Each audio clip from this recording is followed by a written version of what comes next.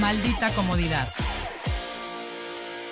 Para hablar del niño inte- interior o del niño herido o de las heridas de la infancia, tendríamos que presuponer que hay un niño o niña sano también. Y sí lo hay. Sí. Eh, entonces, ¿qué pasa? ¿Qué son las heridas de la infancia? Son las experiencias que vivimos en la primera etapa de nuestra vida, digamos. Eh, si vamos a quedarnos en la infancia, tendríamos que llegar hasta los tres años, pero se extienden hasta la niñez, digamos, Sí, tipo siete hasta dicen, ¿no? siete, ocho años por ahí así. Lo que nos pasó en aquellos primeros años pudo haber sido determinante para la forma en que nos vamos a relacionar en el futuro, ya en la vida Ujú. adulta, en la adolescencia, con amigos, con eh, relaciones románticas, con los propios padres, pero sobre todo con nosotros mismos. Totalmente. Con nosotros mismos. Entonces, ¿qué son las heridas de la infancia? Son daños repetidos, necesidades no cubiertas, identidades eh, pretendidas de ser anuladas que fueron realizados de manera sistemática. Porque hay quien me dice, fíjate que ya regañé a mi niño porque se portó mal, entonces ya le hice una herida de la infancia. Yo, a ver, no, si lo regañas una vez o metiste la pata una vez, no necesariamente. Ocurre una herida de la infancia cuando los daños son sistemáticos, cuando es tu forma de ser, ¿no? Ok. Alguna vez escuché un- a un, a un investigador de Harvard decir, mira, es lo bueno, lo malo y lo feo. Lo bueno es tener con el niño una actitud de conocerlo, al niño o la niña, conocer quién es, porque no es un adulto en miniatura, ni es una extensión de mí. Entonces puede venir con gustos diferentes a los míos, temperamento diferente al mío, y entonces lo que hacemos normalmente es que tendemos a tacharlos eh, de rebeldes, por ejemplo. Si no me hace caso, es rebelde.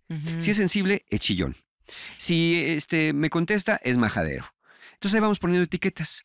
Eh, lo, lo- ser, lo bueno, como decía yo, es entender y conocer que ahí enfrente tienes un, un, adul- un- un niño que es un ser que ya está en formación, que ya está desarrollando su potencial, su personalidad, como dije, su temperamento, sus gustos y sus disgustos. Y, y conocer eso es la parte buena.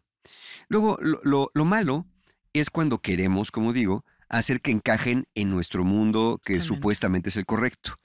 Y lo malo es cuando ya le pegamos el grito, la nalgada, cuando lo criticamos, ¿no? Sí, lo ¿No- juzgamos, ¿No, ¿no? te da vergüenza que todo mundo esté viendo cómo estás llorando, como si fueras un cobarde, como si fueras un débil? Mira, nada más, qué pena, ya te están viendo toda la gente. ¿Y sabes qué están pensando de ti? Que eres una majadera. Eso es lo que están pensando. Ay, Mario, lo estás diciendo y digo, ay, no, güey, Sí. no le digo, no hablen así. Ahí está, eh, es que ahí está. Es que eso duele. Sí, eso, eso es lo malo. Ajá. Eso es lo malo, llegar allá. Pero de lo malo puedes regresar a lo bueno. Ok. ¿Cómo? Cuando? Porque dice- se sintió horrible. Cuando esto. dices, oye, ¿sabes qué? Perdóname, estaba yo ansioso, estaba yo enojado, no debí hablarte así. No, no es verdad que tú tienes que darle gusto a todo el mundo. No, tiene, no es verdad que tienes que cuidar que todos los que todo lo que piensen de ti, ¿no? Algunos pensarán cosas que les guste y otras que no, pero no es verdad. Yo me equivoqué. Es reconocer y Sí. reparar. Ok. Lo feo, porque es lo bueno, lo malo y lo feo, lo feo es ya no regresar a reparar, nunca reconocer y mantenerte sistemáticamente en este tipo de mensajes de tú aquí no eres nadie. ¿Quieres tomar decisiones? Cuando crezcas, trabajes y te ganes tu dinero, haces lo que te dé la gana, pero mientras vivas en estas paredes, Yo mando. te vas a someter. ¿Y sabes por qué? Porque yo soy tu padre, porque yo soy tu madre. O sea, ese es el argumento. ¿Sí? Porque a mí no me vas a ver la cara. Porque cuando tú vas, yo ya vengo. Yo ya vengo. Porque mira mi colmillo retorcido. ¿eh? Años me ha costado, ¿sí? De sufrimiento para que ahora cualquier pelagatos va a venir. No, no, no ha nacido el hijo, no ha nacido el hijo, oye, lo muy bien, que me vea como tú me estás viendo. Así que vuelvo a hacer. Y prefiero pagar la cuenta del dentista cuando te reviente la boca de un bofetón a que me vuelvas a contestar de esa manera. ¡Pum! Y que esa sea la manera de interactuar. A base de miedo, a base de amenazas, a base de desprecio, de condicionamiento. Ah, ¿estás llorando?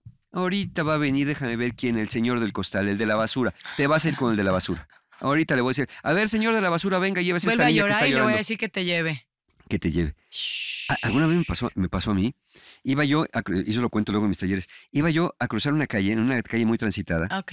y de repente me llamó la atención una niña que lloraba, lloraba Ujú. como de 5 o 6 años.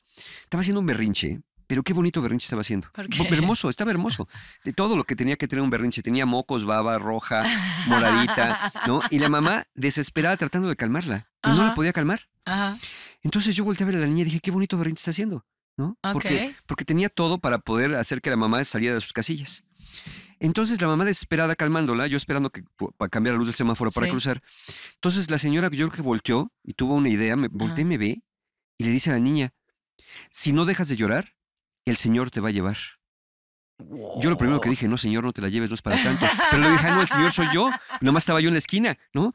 Entonces dije yo, entonces la señora voltea, me ve, me, me cierra el ojo y me dice, ¿verdad?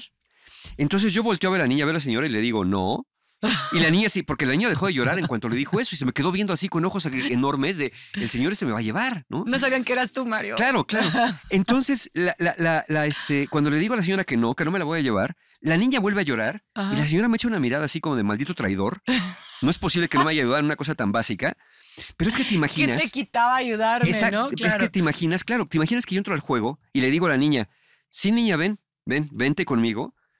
Lo primero que va a quedar en su mente va a decir, a ver, ¿qué tan importante soy para mi mamá? Para que me regale con el primer pelón que esté en la esquina.